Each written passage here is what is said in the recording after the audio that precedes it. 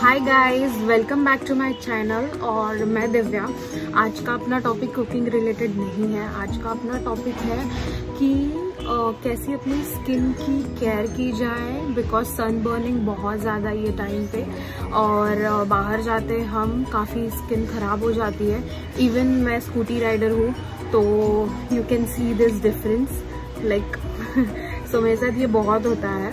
And that's why मैंने कुछ uh, घर के चार पाँच इंग्रेडिएंट्स मिला के एक uh, कुछ ऐसी चीज़ रेडी की जिससे uh, काफ़ी फ़र्क पड़ा मुझे। Actually you can see on my face like this you can see it and of course मैंने थोड़ा सा मेकअप किया इसके ऊपर। सो गाइज़ बट इसके पहले मैं थोड़ा सा डेली केयर करती थी काफ़ी करती थी।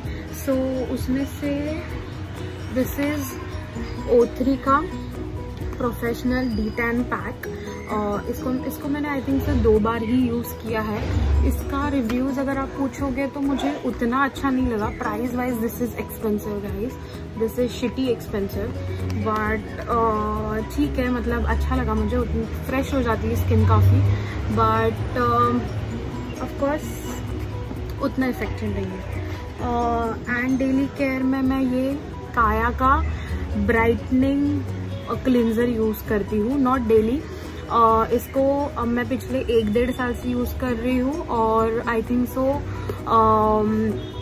इसको मैं uh, दो वीक में एक बार वगैरह यूज़ करती हूँ जस्ट आई सप्लाई करके स्टीम लेके ये क्लींजिंग का जो पैक है वो लगा लेती हूँ जस्ट रब करना था स्क्रब काइंड ऑफ़ एंड ये एक्चुअली डी टैन पैक के साथ मुझे ये कुछ मास्क फ्री मिला है बट इसको मैंने यूज़ नहीं किया I want to use it and then this is Kaya का जो शीट आता है ब्राइटनिंग uh, शीट ये फाइव फ्लावर्स वाला है. And this is like help good product guys this is good product अगर आप किसी फ़ंक्शन में जा रहे हो तो बस 10 मिनट पहले उसको अप्लाई करो and skin will look very bright very bright guys so this is and daily night में आप जब सोते हो उसके पहले you have to apply something so this is original raw shea butter so I don't know ये India में कहाँ मिलता है बट मैंने ये दुबई से लिया था मतलब uh, मेरी दीदी दुबई रहती है तो वो मुझे भिजवाती है.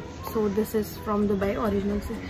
एंड अगर वो नहीं है this is good product guys coconut oil just one tablespoon coconut oil आपके पूरे फेस पे लगा दो, हाथ पे लगा दो। बस सुबह उठ के स्किन इतनी अच्छी लगेगी, इतनी अच्छी लगेगी, पूरी मॉइस्चराइज प्रॉपर लगेगी। And this is virgin coconut oil I don't know normal coconut oil कितना इफ़ेक्टिव है बट वर्जिन कोकोनट ऑयल मैं पिछले डेढ़ दो साल से यूज़ कर रही हूँ। And I think so this is the best one Max Care का ये है। तो I think so this is best one and इसके अलावा मैंने आपको बोला कि मैंने एक पैक रेडी किया है। सो लेट्स सी वो पैक कैसा है। उसमें कुछ चीज़ें मिक्स की है और मैंने घर का मतलब नॉर्मल चीज़ें होती हैं अपने घर की, वही सारी मिक्स करके वो एक क्यूब बनाया है। उसको अप्लाई करने के बाद guys done you are done you don't have to do anything more but of course ये सारी चीज़ें छोटी मोटी जो होती है, वो बहुत मैटर करती है लाइफ में। So you have to take care of skin and uh, that is the most important part. Like in my profession I have to take care of my skin because मैं हम लोग धूल मिट्टी में काफ़ी जाते हैं। I am interior designer by the way so उसके लिए मुझे धूल मिट्टी कंस्ट्रक्शन साइट्स पर मैं काफ़ी जाती हूँ। सो so, उसके लिए I have to take care all this things so I show you how to make that pack okay so guys for making this यहाँ पे मैंने एलोवेरा जूस लिया हुआ है, ठीक है? ये पतंजलि का है, आप कोई भी ले सकते हो।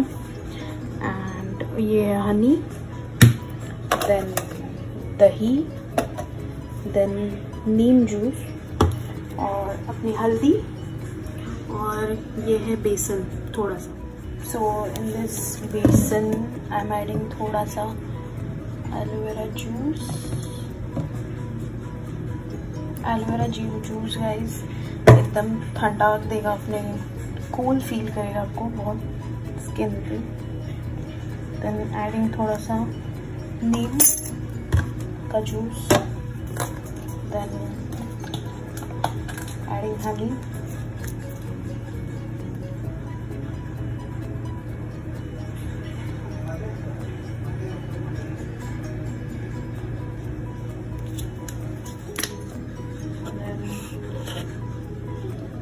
सा दही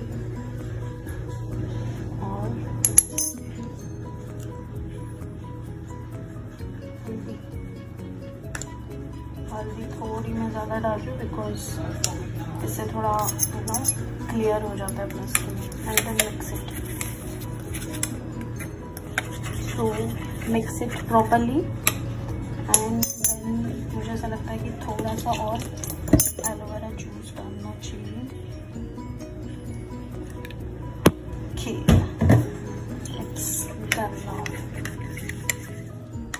So इज़ डन अभी मैं इसको ऑलमोस्ट एट आवर्स के लिए फ्रिज में रखूँगी जब तक इसका आइस क्यूब नहीं बन जाता है। ये आइस क्यूब बनना बहुत इम्पोर्टेंट है। So I am keeping it in refrigerator of mind this is my refrigerator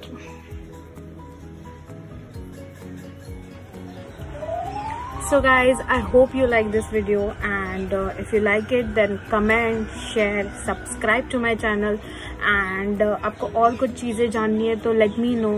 I'll shoot it and let you know ki main kya use karti hu kaise use karti hu so take care of your skin which is most important part. Take care of yourself and thank you so much. Bye.